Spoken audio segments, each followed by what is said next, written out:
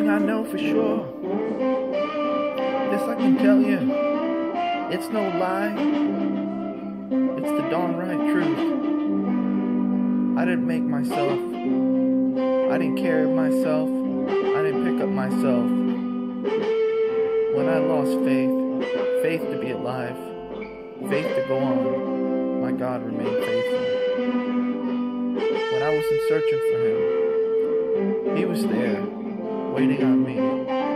When I was running from Him, He was there, watching over me. I can tell you many things, but only one thing is important. Jesus is our only hope.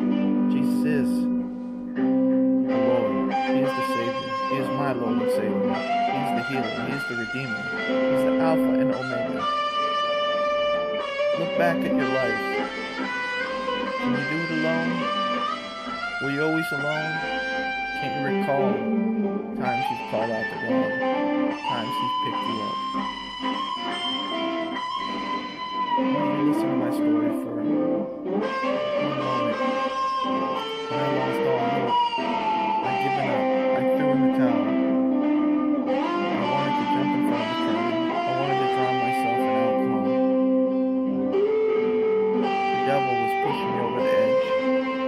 Antagonizing me, provoking me, tormenting me, belittling me. My God told me to surrender. With the words like a waterfall, a fountain in my soul, cool waters over the desert.